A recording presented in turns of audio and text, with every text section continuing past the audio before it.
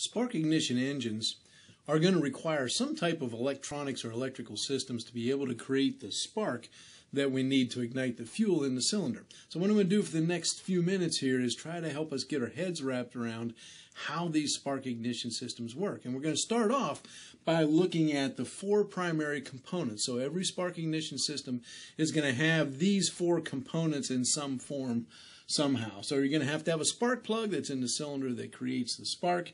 There's going to be a coil that's going to step up voltages, and we'll talk about how that works. It's going to need some type of a switching device, and then it's going to need a power source. And once we understand those four components, we'll put that together and talk about how the systems actually work and some different types of systems. So let's start. Spark plug. Spark plug is the, again, that's the part that goes into the piston and is creating the spark in the combustion chamber above that piston to ignite the fuel air mixture that's in there.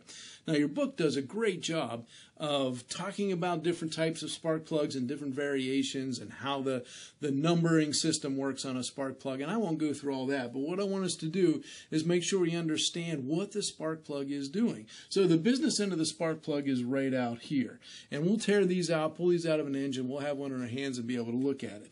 But this is where the spark is actually going to be created. This is actually inside the cylinder. So these threads from here on out are going to be threaded into typically the head of the engine, the top of the engine, and it goes down into that combustion chamber.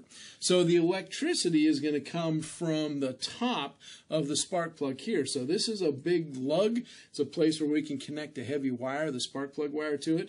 The electricity wants to come down through the center of this thing, and there's a big porcelain piece there that isolates this center piece from the outside of it, so it's electrically isolated. So the current comes down here and it kind of hits a gap here. And so the electricity, the current's going to say, well, I don't want to go any further there because it's an open circuit. It looks like an open switch to them. Now, the other side of this gap is this arm that goes out here. It's connected to these threads. The threads are screwed into the cylinder, and so it is grounded. So that would complete the circuit. So if these two would touch, I could have current flowing through there, but they're not touching. And in fact, this gap here is very critical. So we'll see that in our engines as well, that that setting that gap and understanding how thick that gap is is is very critical to the engine operating correctly. And so we'll use feeler gauges and so forth to set that gap correctly in there. So that gap is really critical. So the current comes down here. It says I can't go any further until I get a whole bunch of other electrons and a whole bunch of current come down here, pushing, pushing, pushing, and I get a great big voltage buildup. So when the voltage gets built up high enough, then these current, these electrons are going to say, okay, I'm going to jump the gap. And so when they jump that gap, they create a spark. And so it takes a lot of voltage. And I'm going to write this down. So it takes typically about 20,000 volts. That's a lot of voltage. It's high voltage, 20 to 30,000 volts. That's a good number that you want to remember. So when I get like 20,000 volts, that's enough to make these electrons or make the electricity jump that gap. When it jumps that gap, that's a spark and that's going to ignite the fuel. This is very similar to what happens in a welding, in an arc welding type situation, where I have a lot of current going from my welding rod to the piece of metal that I'm trying to weld. And I get a very high voltage, that voltage jumps across, and it melts the metal essentially. Now, in a spark plug, it's designed so that we don't want to melt this. Uh, so it's got different metal metallic uh, capacity, metallic makeup, so that it doesn't melt. Um, and we typically don't let that that spark is not continuous like it would be in a welder. So it's not like this welding arc, but it's the same kind of concept. Very high voltage makes the current jump a gap, creates a spark and that's what what ignites the fuel. Now, 20,000 volts. How in the world do I get 20,000 volts? And that's where the coil comes in. So, you know, typically our automobiles and stuff like that, you have a 12 volt battery in there. How do I get 20,000 volts from 12 volts? Well, here we go. Going to do a little bit of a physics lesson and talk about some physics. So, we're going to have a thing the second primary component of a spark ignition system is a coil. So we got to have some type of a coil that's going to step up the voltage. So a coil can be thought of as a transformer. It's kind of a form of a transformer. So that's what it's doing. It's stepping up voltage. All right. So what do you mean stepping up voltage? What's happening? Ugh. Okay. So let's think about it. Here's some physics. So I got a piece of wire here. So I'll take this white wire that we can see pretty easy. So they're just a piece of wire. I just stripped it out. So what happens with wire? And this is a physics lesson. Anytime I have current flowing through a wire, it's going to create a magnetic field around that wire. That's physics. It's a physics principle. Now, we often talk about the right hand rule. So, if you use your right hand and use your thumb pointing in the direction of current flow, so if the current is flowing as you're looking at this from left to right, if I point my thumb in the direction that that current is flowing, my fingers show the direction of the magnetic field. So what this means is if the current is flowing away from you, I'm going to have a magnetic field as you're looking at it going clockwise around that wire. Okay, so it's just physics. That's what happens. If I get current flowing through the wire, I'm going to have a magnetic field. Ah, okay, so magnetic fields, that's magnetism, current, and magnetics. But uh, transformers, how does that get the voltage up? Well, let's keep going. So if you look at this, I've taken this wire and I've basically coiled it up. So I've made take this wire and just made it into a coil. And there's not very many coils here. There's a few coils. But now let's think about what's happening with that magnetic field. That magnetic field, that, that current's coming down through and it's going around these wires. So every one of these wires as it's coming around is going in a certain direction. So if that current is going in one direction, the magnetic field is going around that wire. So now think about the next loop down. The current's going in the same direction, and I have that magnetic field. The next loop down, same direction, magnetic field. What happens is I get all these magnetic fields kind of adding up. By the way, this is the way we can create an electromagnet. So if I have a coil like this, current flowing through it, and I have it arranged in the right way, all these little magnetic fields, there's not much on each individual wire, but when I put hundreds and hundreds of loops in there, now I've got a pretty significant amount of magnetic field. They add up, and that makes an electromagnet. I can pick things up, I can use them as solenoid valves and, and, and, and solenoid switches and stuff like that. So that's how that works. Creates that magnetic field, okay? So, you with me so far? You got to stay with me. So, magnetic field, all this coil, so I got this magnetic field going on there. Now, a couple things that are going to happen, a couple physical principles. Let's think about this. So, if current going through this wire makes a magnetic field, creates a magnetic field, what happens if I put a magnetic field around another wire? So if I have another wire and I have a magnet and I put a magnetic field around this wire, what's that going to do? That's going to make current flow through this wire. Okay? So, I can put current flow through, create the magnetic field, or I can take a magnetic field, put it across a wire, and that's going to make current flow through that wire. So now look what I've got. I've got two different coils of wire, white one and this copper one, all right? So I'm going to take these two coils and I'm going to put them together like this. So I'm going to stick them like that. So I've got current. I'm going to force current to flow through this white wire. The white wire is going to coil around, coil around, create this magnetic field. But now I've got this copper wire in there right beside all that. So that magnetic field that I've created with the white wire is actually going to affect what goes on in the copper wire. And that's going to make a current flow through that copper wire. But here's the cool thing. So I can actually make current flow without any really physical connection. So there's no electrical connection between these two. I should have insulation on both of these wires. I put them together like that. And it's just the magnetic field that transfers the energy, that transfers that electrical power, makes the current flow through that other coil. So now here's the cool thing. So there's more coils in this copper one than there is in this white one. So if I have the same magnetic field and that magnetic field is working on more of these coils, I can have a different amount of current and a different amount of voltage flowing in each one of those. And so that's what the transformer or the coil actually does. And you can see the cutaway of this coil right in here. We have what we say a, call a primary coil and a secondary coil. A primary coil on this one is on the outside. It's got bigger wires, it's heavier wires, and there's not as many loops of it. The secondary coil's got smaller wires and it's got a lot more loops, you know, like maybe a hundred times more loops.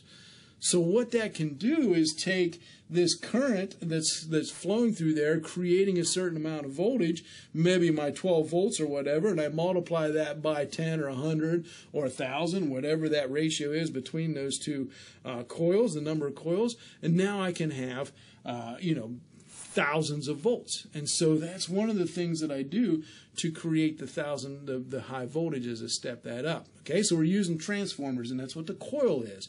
It's just coils of wire, but two separate coils of wire, a primary and a secondary, and the energy is being transferred with a magnetic field. Now, here's the other thing that happens, and this one's a little harder to get our heads wrapped around. But the other thing that happens with an with a coil like this is that it acts like a momentum device in electronic circuits. Now, what do you mean momentum device? Well, you think about a big flywheel. If I've got a big, heavy flywheel, spinning flywheel, and I try to grab a hold of it and stop it, what's going to happen? It's got a lot of energy in it. It's got a lot of momentum. It's going to want to keep on spinning. Well, that kind of happens with a coil of wire in electronics. And again, that's a little harder for us to wrap our heads around and think about, but it's a physics principle. So if I've got inductance here, or this coil of wire, and current flowing through it, it wants to keep flowing. It kind of gets on its momentum. It builds up the magnetic field. The magnetic fields feed off each other, and so it wants to keep on going. Now, what happens if I shut this off all of a sudden? If I cut the wire or open a switch or something like that and make that current try to stop? What's it going to do? It's going to want to keep on going. It's momentum. It's like a flywheel. It wants to keep on going. So that current's trying to shove down through there. And what it does is builds up a lot of pressure, builds up voltage. That's what the pressure is. The voltage is like pressure in there. So it builds up a big high voltage. Now, a lot of you have probably experienced this. Have you ever been around somewhere with a sound system and somebody unplugs a microphone or a speaker or something like that while it's powered? And you hear a big pop, a very loud pop. So if you unplug or plug in a microphone, sometimes you get a really loud pow in your speaker system. What that is, it's the same physical principle. Those microphones and speakers are just coils of wire. That's how they work. They work based on coils of wire. And if I all of a sudden unplug it and I had current flowing through that thing, that current wants to keep on going and it's not happy. So it goes and it builds up a big voltage and you get this big high voltage and it makes a big pop in the speaker. So it's this what we call inductive kick. So those two physics principles are going on. One is the coil that's going to step up the voltage, you know, so maybe like a factor of 100 or something like that in the coil. But then I also open a switch when I've got current flowing through this inductor, through this coil of wire, and that gives me a big spike. So I get a big spike of voltage on one side, and then I've got the the primary to secondary coils transferring and amplifying that voltage, and boom, all of a sudden I got a really big voltage. That's how I can take 12 volts going through a wire, turn it off, get a big inductive kick, amplify it a bunch more by a couple primary and secondary coils together there, and I get 20 or 30,000 volts. So that's the principle. That's the idea of what's going on. Okay? So coils can look like a lot of different things in engines, physically, they can look like uh, different. So this is a common on older style engines. You would see a big coil like that with a wire coming, one wire coming out of the center of it. This would have to be grounded or connected to the frame of the vehicle somewhere. Your small gas engines are going to have coils that look something like this, and you can kind of see this armature that goes through there that's like the, the metal core that goes through the coils are behind this black part here. So those those the armatures go through this piece of metal. This is kind of arced and what's going to happen is that's going to sit right by the flywheel. Now again we can make current if we have magnets going past a wire and so in the flywheel of my engine, that round flywheel, there's going to be magnets, big powerful magnets in there. And so those magnets, when they go by this coil, they create big high voltages. They create voltages, and then we've got a switching device somewhere else that's going to turn that off. That's going to give me that inductive kick. I'm going to step it up through a primary to a secondary coil and all that, and boom, I get that big high 20,000 volts over and over again. Okay? So I hope that made some sense to you. So I've got this spark plug, first component, that makes the spark, but I got to have a big high voltage. I got to snap that thing at real high voltage.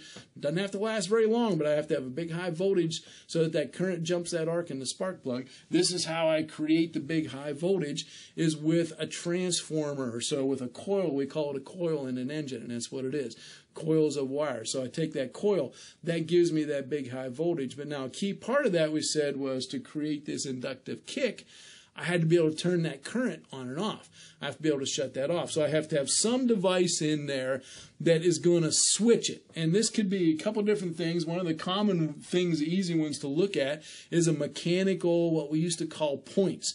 So older engines would have a, what we call a points and condenser system. So the points is basically a switch. And you can kind of see in this animation here that I have a rotating shaft in the middle. This shaft is not round. So it's got lobes on it. It's got high spots and low spots. And as it rotates, one of these high spots is going to come in here and push on the center of this arm. So this is a pivot point down here on this arm. Up here is the connector. That's the switch that opens up. So when that high part comes around, it opens that thing up and then there's no current can flow. So that's my switching device. That's what'll open up. That's what'll create that big high voltage jump, that inductive kick in the transformer that gets amplified through the coil and boom, then I get the big spark through there. So, and this all has to be timed very carefully to the engine. So the rotation of this shaft is going to be connected by a gear or a chain or something to the crankshaft of my engine so that every time that crankshaft comes around or every other time in the case of a four cycle engine, I'm going to get that spark. This is going to open up at precisely the right time to give me a spark whenever I need it to. Okay, this is what they actually will look like. Here's an example. There's actually two sets of points in here. Uh, so there's a point right here. You can see a pivot point. Um, this is the, the rotating shaft in the middle, pushes on this little fiber piece there, opens up the point down here. Down here's the other one. So there's the shaft, the rotating point, and here's the points that open up. Okay, so that one's got two sets of points in there. Um, the other thing that's part of this is a condenser. So as you're reading the textbook, they talk about the condenser. A condenser is basically a capacitor, and that's a critical component for these engines. Now, in older engines, this is something that would require some maintenance. So these would have to be changed periodically, the points and condenser, um, especially if things weren't operating correctly. You'd get some electrical burn on these contact points when they open and close all the time. You get some carbon buildup and some burning there, and then they won't make really good connection for you. So so those require some some maintenance, some cleaning periodically, uh, require replacement. They also require some adjustment. So when this is open, that gap has to be a certain distance. If that gap is too much, it's not going to close correctly, or it'll close too slowly, and then it, it won't operate correctly. So there's got to be just the right gap in there. So that's something that we adjust with feeler gauges and so forth to be able to get uh, the, the right clearance in there to make sure that that is working. Okay, so this is a mechanical switching device.